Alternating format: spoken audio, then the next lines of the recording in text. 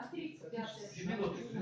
Две одну детскую, одну в школе. Тогда ответьте на вопрос, а что делает котельная, на которую мы с вами потратили 6 миллионов рублей, стоит около нашего общежития и не работает? А что будем делать? Ответить? Вы же говорите, теперь послушайте, опять минут. А что будем делать с той котельной, которая теперь на жидком топливе останется свободной, но она топит ДК и топит тот дом, который приватизировали ответственное производство. Никто ответить не может. А что с ними будет?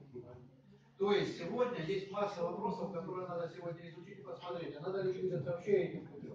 Или нам достаточно реанимировать ту котельную, которая стоит около общежития посоветовала? Почему мы ее разместили вообще? Вы же обосновывали тогда, вам говорили, поставьте ее возле школы. Давайте будем топить школу и детский сад. Взяли, поставили около общежития. Сегодня стоит мертвая. Население отказалось оплачивать. Что дальше будем делать с ней? Кто за это вообще за все это ответит? Никто. А вот сейчас, когда мы разберемся, возможно, найдем тех, кто за это должен за все ответить. За детские сады, за задержку вот этой котельной 13 которую должны были ввести в 15 году, в 16 году. Вот распоряжение главы бывшего. Пожалуйста.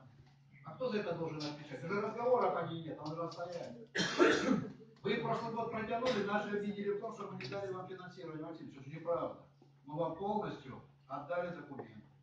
Вы сделали ошибки и молчите по плавательному бассейну, простите. За это кто будет отвечать?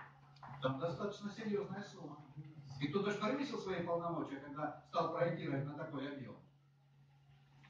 Мы не так ставим вопросы. Давайте найдем наиболее рациональные пути использования вот этих денег. А, а может потом возникнет ситуация, когда более тщательно начнут исполнять свои обязанности. Надеемся на это. Спасибо. Уважаемые коллеги, действительно, вы видите, вопрос затянулся. На сессии мы должны утверждать те решения, которые проработали в комитетах. Сегодня мы выходим на сессию с громадой споров и доказательств, потому что вопрос действительно нуждается в доработке. Поэтому, уважаемые коллеги, э,